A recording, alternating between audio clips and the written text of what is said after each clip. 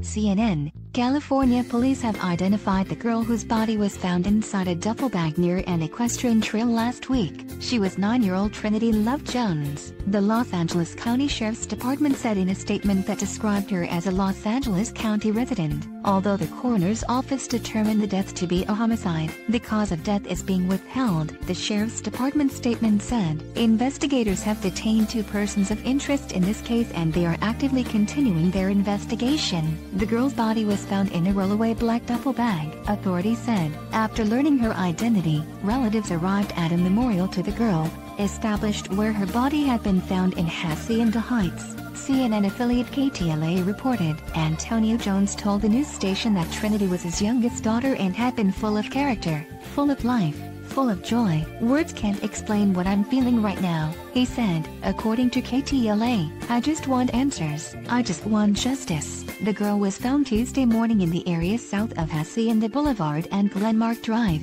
just below a Buddhist temple. According to police, her head and upper body had been protruding from the partially zipped rollaway black duffel bag. She was wearing a shirt that read Future Princess Hero. Los Angeles County Sheriff's LT, Scott Hoagland told reporters at a news conference on Wednesday. Hoagland said authorities believe the girl had been left late on the evening of March 3 in light brush by the trail but did not know if she had been dead or alive. CNN's Madeline Holcombe contributed to this report.